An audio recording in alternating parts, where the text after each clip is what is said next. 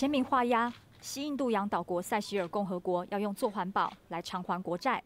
A great honor and privilege for me today to sign the regulations for the Marine Special Plan Phase One into law.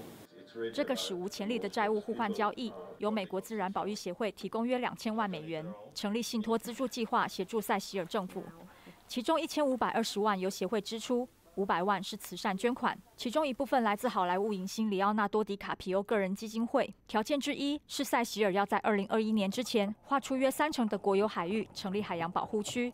当地政府也在今年二月正式立法。要在阿尔达布拉环礁及马埃岛设立两座面积加起来超过二十一万平方公里的保护区。马埃岛周边的保护区将禁止人工集鱼器过度捕捞，目标在二零二零年让海域保护范围从百分之十扩张到百分之三十。Took four years to put this together, uh, but what happened was, is over that time period, the Seychelles was a poster child of what you do to come out of a debt crisis. 塞西尔位在非洲大陆东南方，全国有超过一百个岛屿，国土面积不到五百平方公里，约台湾百分之一大，而且几乎都是海洋，陆地只占百分之一，人口不到十万，有“印度洋的伊甸园”之称。